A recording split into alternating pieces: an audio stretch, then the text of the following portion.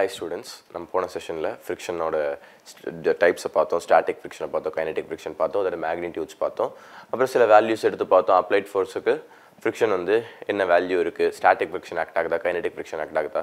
இதெல்லாம் பார்த்தோம்.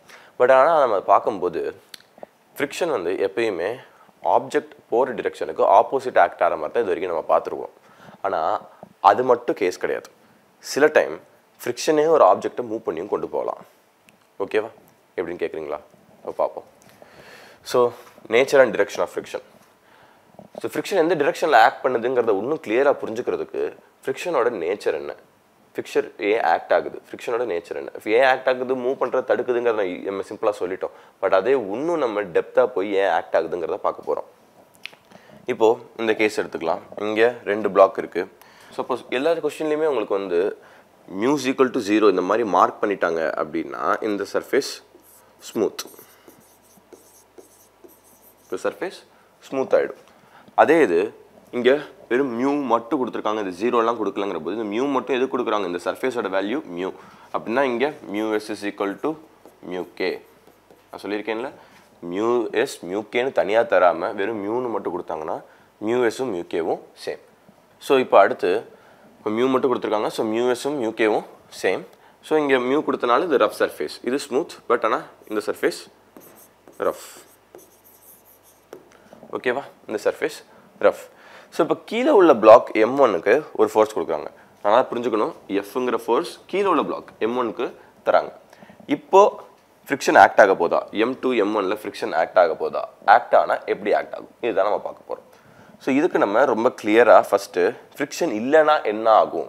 ஸோ எப்பயுமே ஒரு ஃபோர்ஸோட டிரெக்ஷன் அதோட நேச்சர் என்னங்கிறத தெரிஞ்சுக்கிறதுக்கு அந்த ஃபோர்ஸ் இல்லைன்னா என்ன சுச்சுவேஷனுங்கிறத பார்க்க போகிறோம் அதுக்கப்புறம் அந்த ஃபோர்ஸ் இருக்கும்போது என்ன சுச்சுவேஷன் பார்க்க போகிறோம் ஸோ அந்த சேஞ்ச் அந்த ஃபோர்ஸ்னால தான் கொண்டு வரப்படுது. கரெக்டாக ஃபோர்ஸ் இல்லாமல் ஒரு சுச்சுவேஷன் நடக்குது.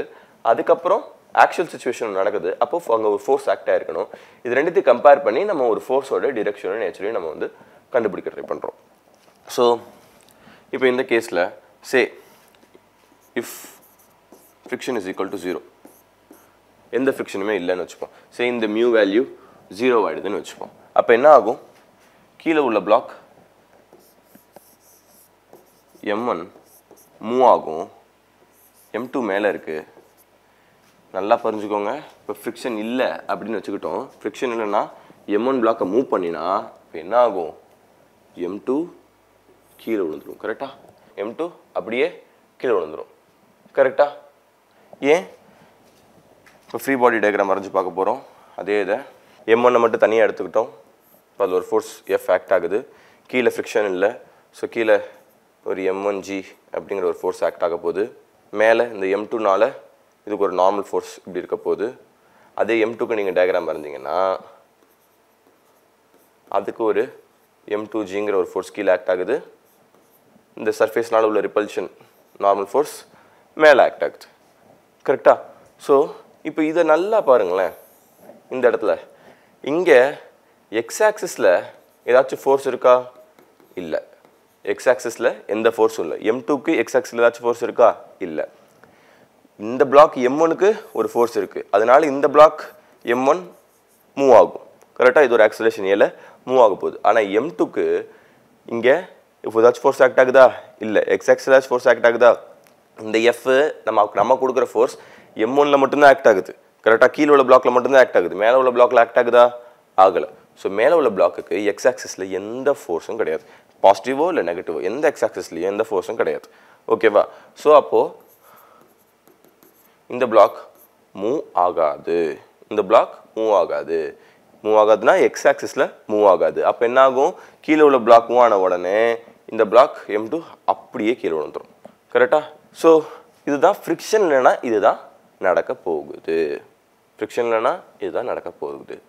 இப்போ ஆக்சுவல் ரியல் லைஃப் கேஸில் என்ன ஆகும் இப்போ ஃப்ரிக்ஷன் இல்லைன்னா அந்த ஃபோர்ஸ் இல்லைன்னா என்னன்னு பார்த்துட்டோம். அந்த எம் டூ அப்படியே கீழே விழ போகுது. இப்போ ஆக்சுவல் லைஃப் சுச்சுவேஷனில் ரியல் லைஃப் சுச்சுவேஷனில் என்ன நடக்க போகுதுன்னு பார்க்க போகிறோம் ரியல் லைஃப் சுச்சுவேஷனில் ஸோ ரியல் லைஃப் சுச்சுவேஷனில் இந்த சுச்சுவேஷனில் நம்ம எங்கே பார்க்கலாம்? இங்கே நம்ம நிறைய இடத்துல இதை நம்ம யூஸ் பண்ணியிருக்கோம். சிம்பிளாக இப்போது நம்ம ஒன்றும் இல்லை குதிரை வண்டி இருக்கு இல்லையா? குதிரை வண்டி.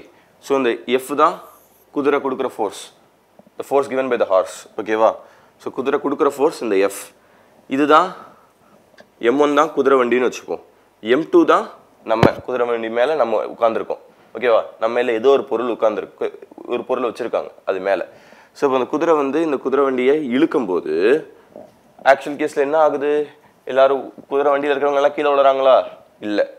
அவங்களும் சேர்ந்து மூவ் ஆகிறாங்க கரெக்டாக அந்த மாதிரி தான் நடக்கும். அந்த மாதிரி தான் நம்ம நிறைய இது பார்த்துருக்கோம். ஸோ அப்போ ஆக்சுவல் சுச்சுவேஷனில் இந்த ரெண்டு பிளாக்கும் சேம் ஆக்சலரேஷனில் மூவ் ஆகிற கேஸை நம்ம பார்க்குறோம். கரெக்டாக ரெண்டு பிளாக்கும் சேம் ஆக்சலரேஷன் மூவ் ஆகிற கேஸை நம்ம பார்க்குறோம்.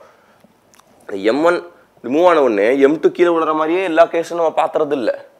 ரெண்டும் சேர்ந்து மூவ் ஆகிற கேஸும் இருக்கு இல்லையா? ரியல் லைஃப் கேஸும் இருக்கு இல்லையா? ஃபிசிக்ஸ் எப்பயுமே தியரட்டிக்கல் சுச்சுவேஷன்ஸை மட்டுமே பேஸ் பண்ணி ஃபிசிக்ஸில் உள்ள லாஸை வந்து நம்ம வந்து ஜென்ரலைஸ் பண்ண முடியாது. அதை நம்ம ரியல் லைஃபுக்கும் அப்ளை பண்ணி கரெக்டாக இருந்தால் தான் அது ஒரு லாவாக நம்ம ஜென்ரலைஸ் பண்ணி நம்ம அதை வந்து ஒரு கான்செப்டாக நம்ம வந்து எஸ்டாப்ளிஷ் பண்ண முடியும். ஸோ ரியல் லைஃப் சுச்சுவேஷனில் என்ன நடக்குதுங்கிறத பார்க்குறோம். ரெண்டு பிளாக்கும் சேமாக இருக்குது சேமாக மூவ் ஆகிற கேஸை பார்க்குறோம். ஸோ இப்போ என்ன நடக்குது? இப்போ என்ன நடக்குது? ஸோ ரியல் லைஃப் கேஸில் என்ன இருக்கும்? ஃப்ரிக்ஷன் இருக்குது கரெக்டாக ரியல் லைஃப்ங்கிற போது நம்ம என்ன சொல்கிறோம் ரியல் லைஃப்னு சொல்லும்போது நம்ம ஃப்ரிக்ஷன் இருக்குது ஃப்ரிக்ஷன் இருக்குது அப்படிங்கிற சைஸில் இப்போ என்ன ஆக போகுதுன்னு பார்க்க போகிறோம் ஆப்வியஸ்லி இப்போயும் இங்கே ஃப்ரிக்ஷன் இல்லை இங்கே மியூ ஜீரோ இங்கே ஃப்ரிக்ஷன் இருக்க போகுது. ஓகேவா எம் டூக்கு எம் ஒனுக்கும் நடுவில் உள்ள சர்ஃபேஸில் ஃப்ரிக்ஷன் இருக்க போகுது. ஓகே நம்ம ப்ரீவியஸ் கேஸில் இந்த நார்மல் ஃபோர்ஸ்லாம் நம்ம பெருசாக கண்டுக்கல கரெக்டாக இந்த நார்மல் ஃபோர்ஸ்லாம் கண்டுக்கல. நம்ம டயக்ராம் வரையும் போது இந்த நார்மல் ஃபோர்ஸ்லாம் பெருசாக எடுத்துக்கல. ஆக்சுவலாக இங்கேயும் ஒரு நார்மல் ஃபோர்ஸ் இருக்கும். பட் ஆனால் அதை நம்ம பெருசாக கண்டுக்கல பிகாஸ் நம்மளுக்கு மெயினாக அங்கே கொண்டு எக்ஸ்டாப்ளிஷ் பண்ண ட்ரை பண்ணுற பாயிண்ட் என்னது? நம்ம எக்ஸ் ஆக்சிஸில் அதுக்கு எந்த ஃபோர்ஸும் இல்லை. எது? எம் டூவில் எந்த ஃபோர்ஸும் இல்லை. வேற எம் ஒனில் ஒரு எக்ஸ் ஆக்சிஸில் ஒரு ஃபோர்ஸ் இருக்குது இதுதான் நம்மளுடைய மெயின் பாயிண்ட்டாக நம்ம சொன்னோம். கரெக்டாக அதனால் எக்ஸ் ஆக்சில் எந்த ஃபோர்ஸ் இல்லாதனால கீழே விழுந்துருச்சு. ஸோ இப்போ ஆக்சுவல் லைஃப் சுச்சுவேஷனில் இது ரெண்டு மூவ் ஆகணும்னா திருப்பி ஃப்ரீ பாடி டயக்ராம் வரைவோம் எம் ஒனுக்கு இப்படி ஒரு ஃபோர்ஸ் இருக்குது ஸோ அதனால் மூவ் ஆக போகுது. ஸோ எம் டூக்கு எக்ஸ் ஆக்சஸில் ஏதாச்சும் ஒரு ஃபோர்ஸ் இருக்கணும்ல? எக்ஸ் ஆக்சஸில் ஏதாச்சும் ஒரு ஃபோர்ஸ் இருக்கணும். கரெக்டாக எம் டூவும் மூவ் ஆகணும் அப்படின்னா அதுக்கு எக்ஸ் ஆக்சிஸில் ஏதாச்சும் ஒரு ஃபோர்ஸ் இருக்கணும். இருந்தால் தான் அது மூவ் ஆக முடியும். ஸோ நம்மளுக்கு என்ன ஃபோர்ஸ் ஆக்ட் ஆக போகுது அங்கே? ஃப்ரிக்ஷன் ஃபோர்ஸ் ஆக்ட் ஆக போகுது. நம்ம இது வரைக்கும் பார்த்த கேஸை விட இந்த கேஸ் டிஃப்ரெண்ட் ஏன் டிஃப்ரெண்ட் இப்போ ஆப்ஜெக்ட் மூவ் டிரெக்ஷன்லேயே ஃப்ரிக்ஷன் ஆக்ட் ஆகுது. அதுக்கான ஆப்போசிட் ரியாக்ஷன் ஃப்ரிக்ஷன் இங்கே ஆக்ட் ஆகும். ஓகேவா ரியாக்ஷன் இந்த ஃபோர்ஸ்க்கு opposite force Newton's third law இதுக்கான ரியாக்ஷன் பேர் எம் ஒனில் மைனஸ் நெகட்டிவ் எக்ஸ் ஆக்சஸில் ஆக்ட் ஆகுது. எம் டூவில் பாசிட்டிவ் எக்ஸ் ஆக்சஸில் ஆக்ட் ஆகுது. ஸோ இந்த ஃப்ரிக்ஷன் தான் எம் டூவை எக்ஸ் ஆக்சஸில் நகர்த்தி கொண்டு போகுது. ஓகேவா இந்த ஃப்ரிக்ஷன் எஃப் தான் எம் டூவை எக்ஸ் ஆக்சஸில் நகர்த்தி கொண்டு போகுது. ஏன் சார் இப்படி நடக்குது? ஏன் ஃப்ரிக்ஷன் இந்த டைரெக்ஷனில் ஆக்ட் ஆகுது? எப்பயுமே நம்ம மோஷனுக்கு அகேன்ஸ்டாக தானே பார்த்துருக்கோம். மூவ்மெண்ட்டுக்கு அகேன்ஸ்டாக தானே ஃப்ரிக்ஷன் இருந்து பார்த்துருக்கோம். இங்கே ஏன் ஆப்போசிட்டாக மூவ் ஆகுது? அப்படி நம்ம கேட்கலாம். ஸோ இங்கே தான் நம்ம ஃப்ரிக்ஷனோட நேச்சரை டிஃபைன் பண்ண ட்ரை பண்ணுறோம் என்ன பண்ணுறோம் ஃப்ரிக்ஷன் அப்போசஸ் ரிலேட்டிவ் மோஷன் ஓகேவா ஃப்ரிக்ஷன் அப்போசஸ் ரிலேட்டிவ் மோஷன் அப்போஸ்னா என்ன? எதிர்த்து. ஃப்ரிக்ஷன் இதை எதிர்க்குதுங்கிறாங்க. ஃப்ரிக்ஷன் ஆப்ஜெக்ட் மூவ் ஆகிறது எதுக்கல? ஃப்ரிக்ஷன் ரிலேட்டிவ் மோஷனை எதுக்குது ஸோ ரிலேட்டிவ் மோஷனா என்ன முதல்ல?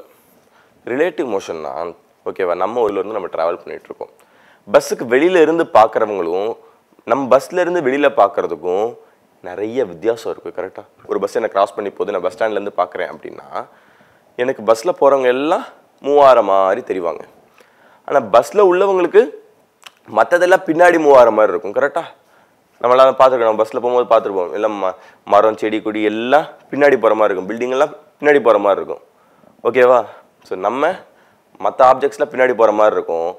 வெளில உள்ளவங்களுக்கு நம்ம முன்னாடி போகிறோம் அவங்க ஸ்டேஷ்னரியாக இருக்கிற மாதிரி இருக்கும் கரெக்டாக ஸோ இதுதான் ரிலேட்டிவ் மோஷன் ஒரு பொருளை பொறுத்து இன்னொன்று பொருள் எப்படி மூவ் ஆகுது? நான் பஸ்ஸில் இருக்கேன் என்னை பொறுத்து வெளியில் எப்படி மூவ் ஆகுது? ரிலேட்டிவ் ஒருத்தரை பொறுத்து இன்னொருத்தர். ஓகேவா எப்படி? எப்படி அது மூவ் ஆகுது அப்படிங்கிறது. ஸோ இங்கே ரிலேட்டிவ் மோஷனுங்கிறத எதை சொல்கிறாங்க எம் ஒனில் நம்ம நிற்கிறோம் எம் ஒன்லேயே நம்ம இருக்கிறோம்னு வச்சுக்கோம். எம் ஒனில் நம்ம இருக்கோம். எம் ஒனில் இருந்து இப்போ எம் டூவை பார்க்குறோம். எம் ஒனில் இருந்து எம் ஒனில் இருந்து இப்போ எம் டூவை நம்ம பார்க்குறோம். ஓகேவா so M two with respect to M one டபிள்யூஆர்டினா என்ன? வித் ரெஸ்பெக்ட் டு எம் ஒனை பொறுத்து எம் டூ எப்படி மூவ் ஆக போகுது அப்படின்னு நம்ம பார்க்க போகிறோம் எம் ஒனை பொறுத்து எம் டூ எப்படி மூவ் ஆக போகுது அப்படின்னு நம்ம பார்க்க போகிறோம் எப்படி மூவ் ஆகும்? யோசிச்சு பாருங்களேன். நான் தான் எம் ஒன் எனக்கு மேலே எம் டூ இருக்குது கரெக்டாக எனக்கு மேலே எம் டூ இருக்குது அப்போது நான் அதை மேலே பார்க்குறேன் நான் மேலே பார்க்குறேன் எம் ஒன் எப்படி எம் டூ எப்படி மூவ் ஆக போகுதுன்னு பார்க்குறேன் ஓகேவா நான் மூவ் ஆகுறேன். எம் ஒன் மூவ் ஆகுது. கரெக்டாக எம் ஒன் மூவ் ஆகுது. எம் ஒன் மூவ் ஆக போகுது. ஃப்ரிக்ஷன் இல்லை அப்படின்னா என்ன ஆக போகுது? அது கீழே விழ போகுது. கரெக்டாக ஸோ நான் இப்போ மூவ் ஆகும்போது எம் டூ அங்கேயே இருக்கிற மாதிரி இருக்கும். கரெக்டாக எம் டூ அங்கேயே இருக்கிற மாதிரி இருக்கும். ஸோ நான் நல்லா புரிஞ்சுக்கோங்க. எம் ஒன் மேலே இருக்குது எம் டூ கீழே இருக்குது ஸோ எம் ஒன்லேருந்து எம் டூவை பார்க்கும்போது நம்மளுக்கு மேலே இருக்கா? எம் டூ நமக்கு மேலே இருக்குது ஃப்ரிக்ஷன் இல்லாத போது என்ன ஆகுது கீழே விழுன்னு சொன்னோமா? ஃப்ரிக்ஷன் இல்லாத போது அது கீழே விழும். ஸோ நம்ம மேலே பார்க்குறேன். பார்க்கும்போது நான் மூவ் ஆகிட்டே இருக்காது அங்கேயே இருக்குது அப்படியே இப்படி கீழே விழுது. கரெக்டாக இப்படி தான் எனக்கு தெரியும். ரைட் ஸோ நான் பார்க்கும்போது அந்த பிளாக் அப்படியே பின்னாடி போகிற மாதிரி இருக்கும். கரெக்டாக அப்படியே எம் ஒன் பின்னாடி போகிற மாதிரி இருக்கும். கரெக்ட் இதுதான் நீங்கள் தான் பஸ்ஸில் இருக்கீங்க. இதெல்லாம் தான் பில்டிங் அப்படின்னு வச்சுப்போம். நம்ம எம் ஒன் பஸ் முன்னாடி போகிறோம் நம்ம முன்னாடி போகிறோம் அப்போ இது நம்மளுக்கு பின்னாடி போகிற மாதிரி தானே தெரியும்? ஃப்ரிக்ஷன் இல்லாத போது ஃப்ரிக்ஷன் இல்லாத போது எம் டூ அங்கேயே தான் இருக்க போகுது அப்படியே கீழே உள்ள போகுது. ஸோ அது பின்னாடி போகிற மாதிரி தெரியும். கரெக்டா so M two with respect to M one எப்படி தெரியும்? இப்படி தெரியும். கரெக்டாக ஒரு ஆக்சலேஷன் ஏல பின்னாடி போகிற மாதிரி இருக்கும். கரெக்ட் எம் ஒன் ஒரு ஃபோர்ஸ் பிடிச்சிருக்கிறாங்க ரைட்டா எம் ஒன் ஒரு ஃபோர்ஸ் பிடிச்சிருக்கிறாங்க. இந்த டயக்ராம் எம்மனை பொறுத்து எம் டூ எப்படி இருக்கும்? ஃப்ரிக்ஷன் இல்லாத போது. ஃப்ரிக்ஷன் இல்லாத போது எம்மனை பொறுத்து எம் டூ எப்படி இருக்குங்கிறத பார்க்குறோம். கரெக்டா எப்படி இருக்க போகுது? பின்னாடி போகிற மாதிரி தெரிய போகுது எம் பொறுத்து எம் டூ பின்னாடி போகிற மாதிரி தெரிய போகுது அப்போ இந்த பின்னாடி போகிற மாதிரி தெரியுது இல்லையா? இதுதான் ரிலேட்டிவ் மோஷன் எதுக்கு ரிலேட்டிவ் எம் ஒனுக்கு ரிலேட்டிவாக எம் டூ எப்படி தெரியுதுன்னு பார்க்க போகிறோம் எம் ஒனுக்கு ரிலேட்டிவாக எம் டூ எப்படி தெரியுதுன்னு பார்க்குறோம். எம் டூ பின்னாடி போகிற மாதிரி தெரியுது. இதுதான் நம்ம வந்து ஒரு பக்ஸ் பஸ்ஸு வெளியில் ஒரு பில்டிங் இந்த எக்ஸாம்பிள் வச்சு நம்ம பார்க்கலாம். ஓகே இல்லை நம்ம வெளிலேருந்து பார்க்கும்போது எம் டூ ஸ்டேஷனரியாக இருக்க போகுது. ஃபிஷன் இல்லைனா எம் டூ ஸ்டேஷனரியாக இருக்க போகுது. ஸோ எம் டூ தான் பில்டிங் அது ஸ்டேஷனரியாக இருக்குது நம்மளும் பஸ் ஸ்டாண்டுக்கு வெளில இருந்து பார்க்குறோம். ஓகே நம்மளுக்குலாம் பில்டிங் வந்து ஸ்டேஷ்னரியாக இருக்குது பிரச்சனை இல்லை. இப்போது நம்ம பஸ்ஸுக்குள்ளே போகிறோம் எம் ஒன் தான் பஸ்ஸு எம் பஸ்ஸு பஸ்ஸுக்குள்ளே போகிறோம் நம்ம மூவ் ஆக போகிறோம் இப்போ இது ஸ்டேஷ்னரியாக இருக்க போகுது. அப்போ நம்மளை பொறுத்தது எப்படி தெரியும்? பின்னாடி போகிற மாதிரி தெரியும். நம்ம மோஷனுக்கு அகைன்ஸ்ட் எம் டூ பின்னாடி போகிற மாதிரி தெரிய போகுது. இதுதான் ரிலேட்டிவ் மோஷன் இந்த ரிலேட்டிவ் மோஷனை தான் ஃப்ரிக்ஷன் அப்போஸ் பண்ணுது. இந்த ரிலேட்டிவ் மோஷனை தான் ஃப்ரிக்ஷன் அப்போஸ் பண்ணுது. ஸோ அப்போ ஃப்ரிக்ஷன் எப்படி ஆக்ட் ஆகணும்? இப்படி ஆக்ட் ஆகணும். கரெக்டாக ஃப்ரிக்ஷன் எப்படி ஆக்ட் ஆகணும்? இப்படி ஆக்ட் ஆகணும்.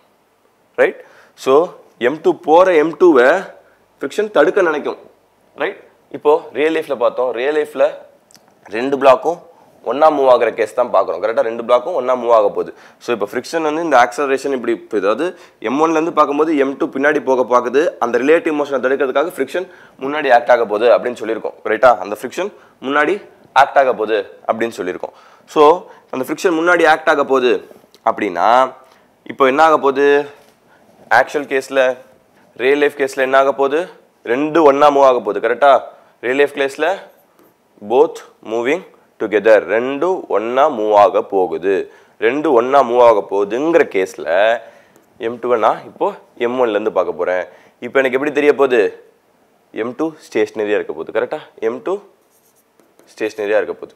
இது எல்லாமே வித் ரெஸ்பெக்ட் டு கண்டிஷன்ஸ் இந்த ரெண்டு டயக்ராமும் வித் ரெஸ்பெக்ட் டு கண்டிஷன்ஸில் தான் நான் வரேன். மீன்ஸ் ரெண்டு டயக்ராமையும் நான் வந்து எம் ஒன்லேருந்து பார்த்தா எம் டூ எப்படி இருக்குது அப்படிங்கிறதெல்லாம் வரேன் இங்கே ஃப்ரிக்ஷன் இல்லைன்னா எப்படி தெரியுது? எம் டூ பின்னாடி போகிற மாதிரி தெரியுது. ஃப்ரிக்ஷன் இருக்கும்போது ரெண்டும் சேர்ந்து மூவ் ஆக போகுது. அப்படின்னா எப்படி இருக்கும்? இங்கே ஆக்சலரேஷன் ஜீரோவாக இருக்க போகுது. ஆக்சலரேஷன் ஜீரோவாக இருக்க போகுது. கரெக்டாக ஏன்? நம்மளோட சேர்ந்து நானும் மூவ் ஆகுது இந்த பேனாவும் மூவ் ஆகுது. ரெண்டு ஒன்றா மூவ் ஆகுது. கரெக்டாக ரெண்டு ஒன்றா மூவ் ஆகுது. அப்படின்னா எனக்கு இதை பார்க்க ரெஸ்ட்டில் இருக்கிற மாதிரி தான் தெரியும் கரெக்டாக அது ரெஸ்ட்டில் இருக்கிற மாதிரி தெரியும்.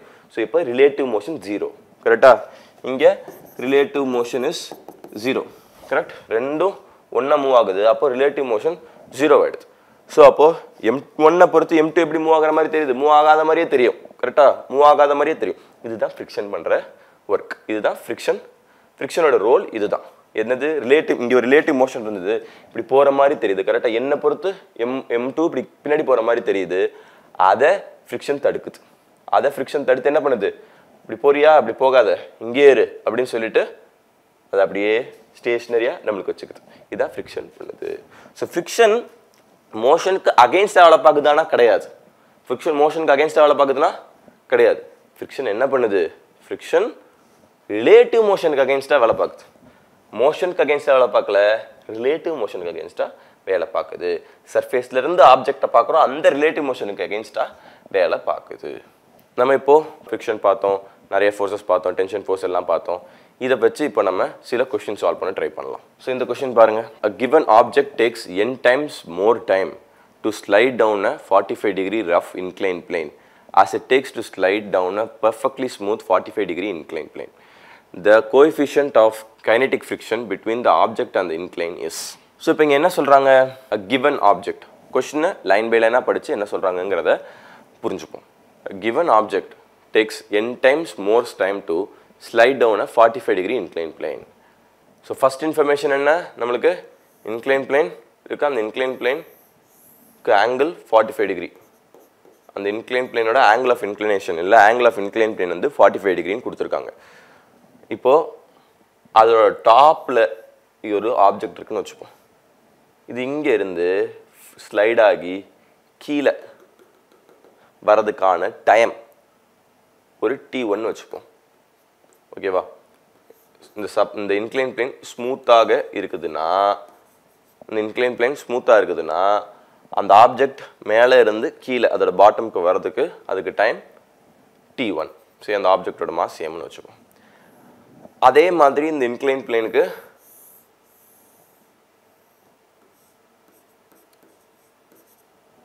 இதே இன்க்ளைன் பிளேன் ரஃப்பாக இருந்ததுன்னா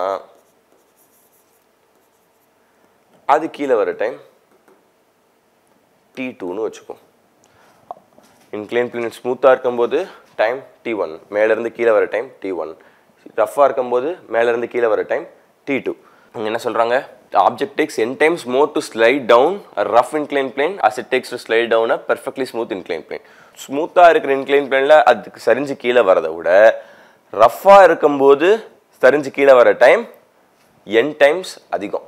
அதாவது T two is equal to N times of T ஒன்னு சொல்கிறாங்க நம்மளுக்கே தெரியும். ஸ்மூத்தாக இருந்தால் டக்குன்னு கீழே வந்துடும் ரஃப்பாக இருந்தால் லேட்டாக கீழே வரும். ரஃப்பாக இருக்கும்போது கீழே வர டைம் டி டூனா அது ஸ்மூத்தாக இருக்கிறத விட என் டைம்ஸ் அதிகம் எடுத்துக்குதுங்கிறாங்க. ஹோல் கொஸ்டின் அதுதான். வேறு என்ன கொடுத்துருக்காங்க? Coefficient of kinetic friction kinetic friction ஏன் கொடுத்துருக்காங்க? இந்த ஆப்ஜெக்ட் மூவ் ஆக போகுது.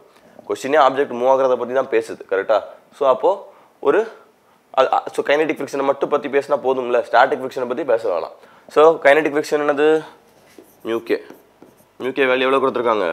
கொஷினில் என்ன கொடுத்துருக்காங்க எல்லாத்தையும் பார்த்துட்டோம். இப்போ கொஷின் என்ன கேட்க போகிறாங்கங்கிறத பார்க்க போகிறோம் கொஷினில் என்ன கேட்க போகிறாங்க இந்த கோஎஃபிஷியன்ட் ஆஃப் கைனடிக் ஃபிக்ஷன் என்னென்னு கேட்குறாங்க. கோஎஃபிஷியன்ட் ஆஃப் ஃபிக்ஷன் கேட்கல. கோஎஃபிஷியன்ட் ஆஃப் கைனடிக் ஃபிக்ஷன் கேட்குறாங்க? ஏன்னா ஆப்ஜெக்ட் மூவ் ஆக போகுது. ஸோ அப்போ ஸ்டாட்டிக் ஃபிக்ஷனை பற்றி பேசி இங்கே பிரயோஜனமே கிடையாது.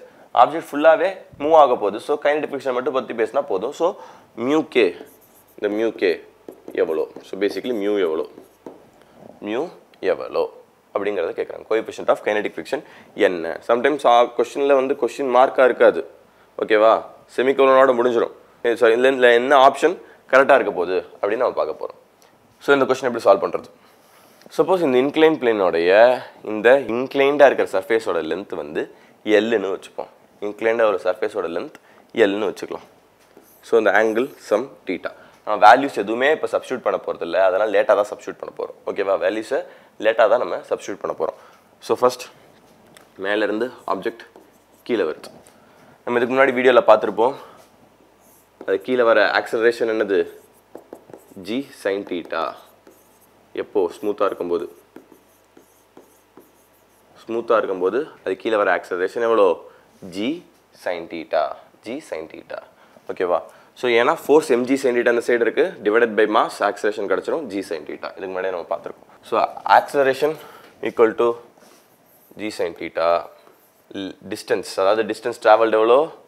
டிஸ்பிளேஸ்மெண்ட் அலாங் இன்க்ளைன் பிளேன் எவ்வளோ? எல் ஓகேவா சே இது ரெஸ்ட்ல இருந்து ஆரம்பிக்குதுன்னு வச்சுப்போம். ரெஸ்ட்ல இருந்து ஆரம்பிக்க போகுது. அப்போ இனிஷியல் வெலாசிட்டி ஜீரோ ஓகேவா இனிஷியல் வெலாசிட்டி ஜீரோ அப்போது நம்மளுக்கு என்ன தேவை? கீழே வர டைம் எவ்வளோங்கிறது தேவை. பேசிக்கலி டி ஒன் என்ன அப்படிங்கிறது தேவை. கரெக்டாக டி ஒன் எவ்வளோங்கிறது தேவை. ஸோ இங்கே நம்ம என்ன ஃபார்முலா யூஸ் பண்ண போகிறோம்னா s is equal to u t plus half a t square vector ஃபார்மில் போட போகிறோம் ஸோ சரி இந்த சைடு வரதை நம்ம பாசிட்டிவ்னு எடுத்துப்போம். இந்த சைடு நெகட்டிவ் ஓகே இந்த பாசிட்டிவ் நெகட்டிவ் நம்ம மாற்றி போட்டாலும் ஆன்சர் மாற போகிறது இல்லை நமக்கு ஏற்ற ஏற்ற மாதிரி ஈக்குவேஷனில் வேல்யூஸை சப்ஸ்டியூட் பண்ணும்போது மாற்றி சப்ஸ்டியூட் பண்ண போகிறோம் ஓகேவா ஸோ ஆக்சஸ் வந்து கீழே வரத பாசிட்டிவ் எடுத்துக்கிறோம் மேலே வரத நெகட்டிவ்னு எடுத்துக்கிறோம்.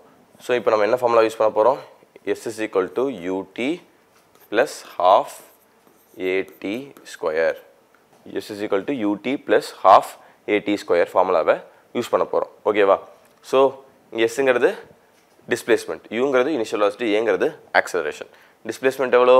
பாசிட்டிவ் எக்ஸ் ஆக்சிஸில் எல் டிஸ்பிளேஸ்மெண்ட் இருக்குது கரெக்டாக எல் டிஸ்பிளேஸ்மெண்ட் இருக்குது பாசிட்டிவ் எக்ஸ் ஆக்சிஸில் எல் டிஸ்பிளேஸ்மெண்ட் இருக்குது so plus L is equal to initial velocity zero கரெக்டாக initial velocity zero so zero plus half into a value என்ன? ஜி சைன் டீட்டா அது என்ன டிரெக்ஷனில் இருக்குது பாசிட்டிவ் டிரெக்ஷனில் இருக்குது நான் இந்த சைடை பாசிட்டிவ்னு எடுத்துக்கிறேன். ஸோ பாசிட்டிவ் டிரெக்ஷனில் இருக்குது so half g sin theta into t square so அப்போ இங்கே இதுதான் டி ஒன் கரெக்டாக இந்த இடத்து இந்த டைமில் பார்க்கும்போது டி ஒன் பார்க்குறோம். So t one is equal to எவ்வளோன்னு வரப்போகுது? Two L by g sin டீட்டான்னு வரப்போகுது. ஓகேவா so t one is equal to அந்த root of two L by g sin theta அப்படின்னு வரப்போகுது. ஓகே இப்போ அடுத்து இதே ஒரு ரஃப் இன்க்ளைன் பிளேனில் என்ன ஆகுதுன்னு பார்க்க போகிறோம் ஒரு ரஃப் இன்க்ளைன் பிளேனில் எப்படி அது மூவ் ஆக போகுதுன்னு பார்க்க போகிறோம் என்ன என்ன டைம் இருக்க போகுதுன்னு பார்க்க போகிறோம் ஆக்சலேஷன் இப்போ என்ன? அதை பார்க்க போகிறோம் ஸோ ஜென்ரலாக ஒரு பிளாக் இப்படி இருக்குன்னு வச்சுப்போமே அது மூவ் ஆகுது. இப்படி மூவ் ஆகுது. ஓகேவா ஒரு ஆக்சலேஷனில் இப்படி மூவ் ஆகுது. ஓ ஃபோர்ஸ் இந்த டிரெக்ஷனில் இதான் நம்மளோட புது எக்ஸ் ஆக்சஸ் கரெக்டாக இந்த எக்ஸ் ஆக்சஸ் டிரெக்ஷனில் எப்படி என்னெல்லாம் ஃபோர்ஸ் இருக்குது அப்படின்னு பார்க்க போகிறோம் மாஸ் எம் அப்படின்னா எம்ஜி சைன் டீட்டா கிராவிட்டியோட ஒரு காம்பனண்ட் இந்த சைடு ஆக்ட் ஆக போகுது. அதே மாதிரி இப்படி பார்த்தோம் கரெக்டாக friction incline plane friction act ஆகும். இப்படி மூவ் ஆகிறத தடுத்து ஃப்ரிக்ஷன் இப்படி ஆக்ட் ஆகும். கரெக்டாக so f is equal to mu mg cos theta கரெக்டாக ஏன்னா இங்கே நார்மல் ஃபோர்ஸ் கீழே எம்ஜி காஸ்டீட்டா இந்த normal force is equal to mg cos theta so friction வந்து mu mg cos theta friction வந்து மியூ எம்ஜி காஸ்டீட்டா கரெக்டாக friction mu mg cos theta so mg sin theta கீழே இருக்குது friction மேலே இருக்குது okay இது positive இது நெகட்டிவ் அப்படின்னு வச்சுப்போம். ஸோ ஆக்சலரேஷன் பாசிட்டிவ் டிரெக்ஷனில் இப்படி இருக்குது கரெக்டாக ஆக்சலேஷன் இப்படி இருக்குது ஸோ அப்போது நெட் ஃபோர்ஸ் என்ன? எம்ஜி சைன்டிட்டா கீழே இருக்குது எஃப் சைன்டிட்டா மேலே. கரெக்டாக ஸோ இது பாசிட்டிவ்னு எடுத்துக்கிறேன் இது நெகட்டிவ்னு எடுத்துக்கிறேன். So mu mg cos theta கரெக்டாக net force should be equal to m a அப்போ இப்போ ஆக்சலேஷன் என்ன வருது? ஆக்சலேஷன் வந்து g into sin theta minus mu cos theta கரெக்டாக ஜி எம்எம் கேன்சல் ஆகிடுது ஜியை காமன் எடுத்துக்கிறோம். Sin theta minus mu cos டீட்டான்னு வருது. கரெக்டாக இப்போ இதில் இப்போ டைம் டி டூ என்னன்னு பார்க்க போகிறோம் இப்போ டைம் டி டூ என்ன? அதான் கண்டுபிடிக்கும் கரெக்டாக திருப்பி இங்கே டிஸ்பிளேஸ்மெண்ட் எவ்வளோ? இப்படி மேலே இருந்து கீழே வர்றதுக்கு திருப்பி அந்த டிஸ்டன்ஸ் எல் தான். இந்த டிஸ்டன்ஸ் வந்து எல் தான். கரெக்டாக அந்த distance L so s is equal to acceleration already என்னென்னு பார்த்துட்டோம். திருப்பி இனிஷியல் வெலாசிட்டி வந்து ஜீரோ தான்.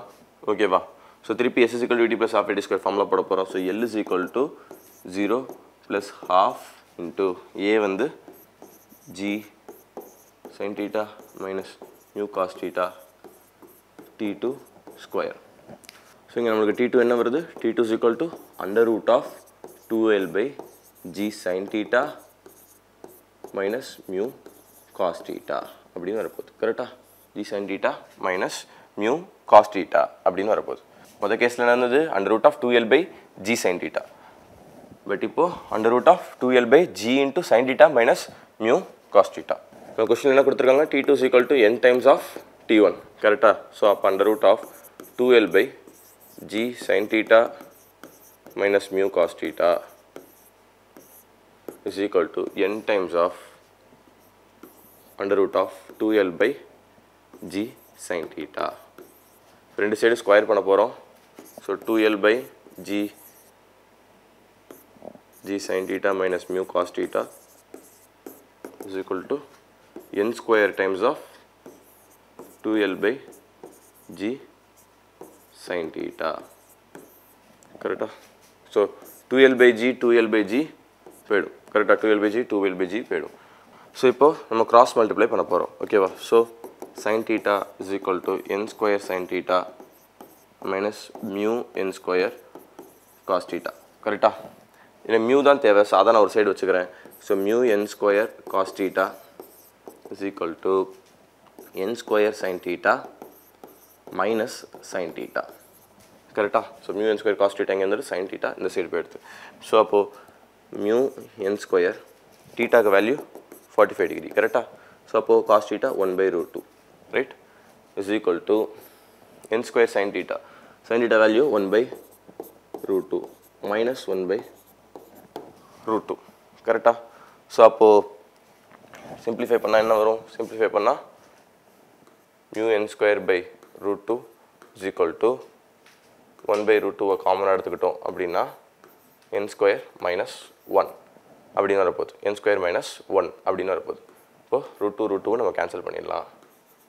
Mu is equal to n square minus one by n square one minus one by n square அப்படின்னு நமக்கு வரப்போகுது.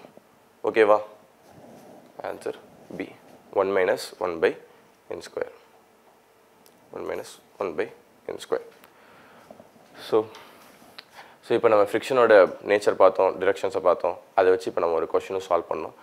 நெக்ஸ்ட் செஷன்ஸில் நம்ம இன்னும் நிறைய ஃப்ரிக்ஷனை பற்றி நிறைய கொஷின் சால்வ் பண்ணலாம். மற்ற ஃபோர்ஸஸ் பற்றியும் படிக்கலாம். தேங்க்யூ